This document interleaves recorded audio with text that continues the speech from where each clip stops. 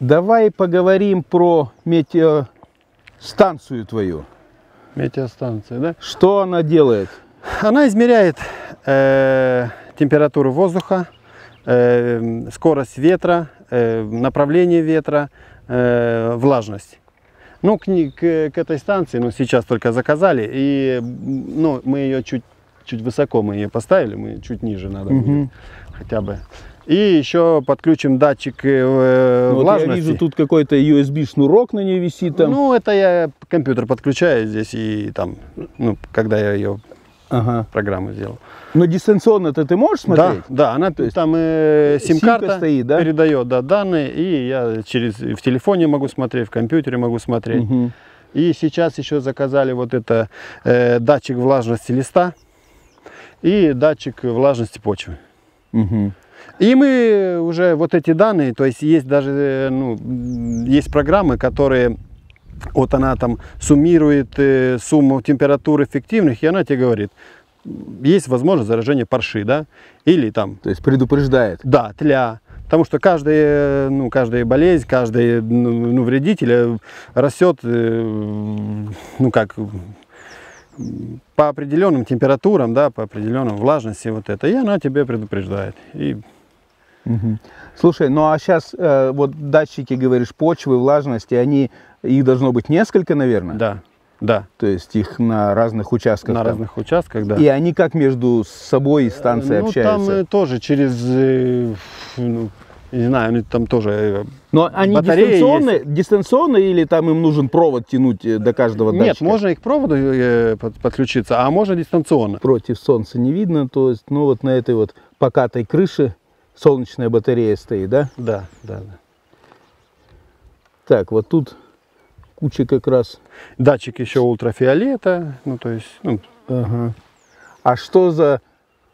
Это еще какое-то освещение, что ли, вот с левой стороны А, с левой стороны нет, это, камера, веб-камера, чтобы смотреть там как на состояние сада, так, ну, тоже Ну, передает. то есть вебка, да? То есть да, еще вебка, и, да, передает. Еще и сним- можно снимки, посмотреть. да. Вот я просто вижу там диоды инфракрасные, судя по всему, еще и ночью можно, да? Ну да. Ага. А снизу вот такая вот эта бочка, это что такое? Но это, скорее всего, датчик э, влажности. Датчик влажности. И Да. вот две антенки мы видим вниз висят по бокам. Ну да, вот там GSM стоит и датчик лора, вот это, который ну, Ага. дает. Прикольно, прикольно, прикольно. Ну, вот она, если один раз спасет, ну как, если она один раз где тебе даст сигнал правильный, да, и ты пропустишь одну, не пропустишь, ну как, э, сэкономишь на одну обработку, она окупится в три раза. Мгм. Потому что обработки, они тоже не из дешевых. Обработка сада. Отлично. Так, и сколько датчиков-то тебе на гектар вот надо? Ну, Вла- ну вот, не, влажность. не на гектар. Ну, в принципе, ну, по погоде, ну что, я думаю, датчиков 3-4 максимум. Мгм. Да, вот там по периметру где-то, там посередине. И, и сколько стоит такая? Ну, если с датчиками со всеми, около 150 тысяч Около рублей. 150 тысяч. Да. Ага. Ну, если, опять же, как с противоградовой сеткой, если один раз сработает, Ну то, да, то- она то уже можно считать окупилась. сэкономит э, одно опрыскивание и все, она купила Мгм. себе. Так, э, 150 тысяч, это сколько в килограммах яблок?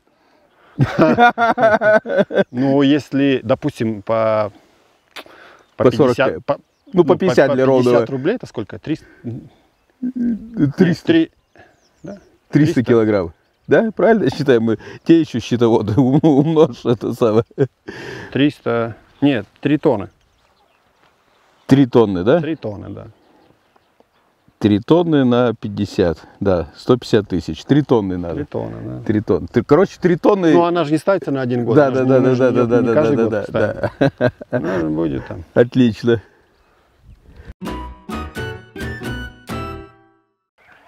Итак, друзья мои, сегодня мы провели весь день э, в гостях у Василия Берзой, э, посмотрели, что нового произошло за три года.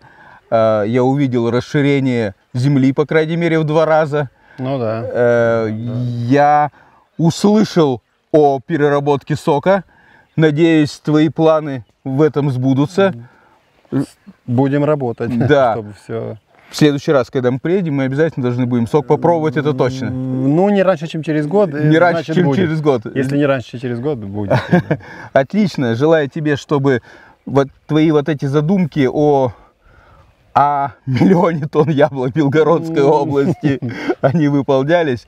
И, кстати говоря, давай вот скажем о том, что много достаточно э, пустующих вот здесь вот земель, где можно, вот как твой папа, гектар посадить для личного подсобного хозяйства. Да не только здесь, не только у нас. Я, Мгм. ду- я думаю, вообще по всей России у нас есть такие Мгм. участки.